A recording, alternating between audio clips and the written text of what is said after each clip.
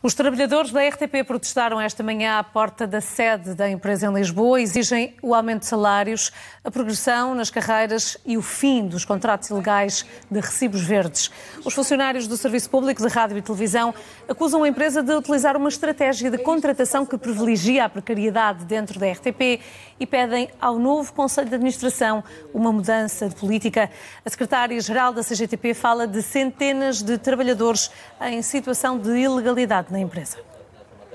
Não se pode ter trabalhadores que ocupam postos de trabalho permanentes sem terem vínculos efetivos. E, infelizmente, não é só na RTP, mas a RTP é um exemplo e é uma empresa pública. Portanto, ainda mais grave se torna o utilizar este mecanismo eh, para ter trabalhadores eh, fragilizados, com, sem um contrato permanente. Continua a haver, eh, eu penso que centenas de trabalhadores aqui na RTP com vínculos precários. Isto é inadmissível, porque o vínculo vínculo precário unicamente pode ser utilizado se for de facto para executar uma tarefa pontual.